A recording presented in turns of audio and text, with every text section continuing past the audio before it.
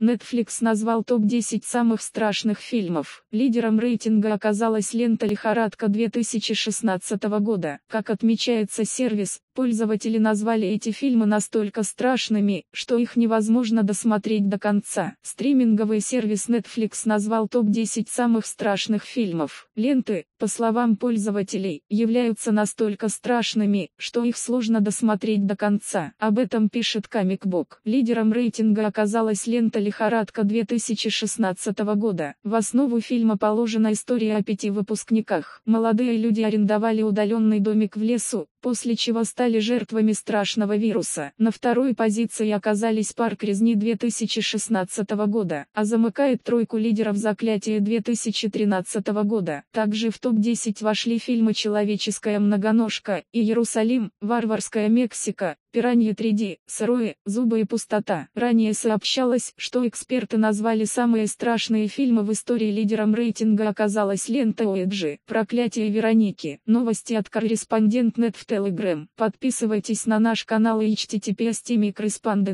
По материалам сайта Newsgro.com.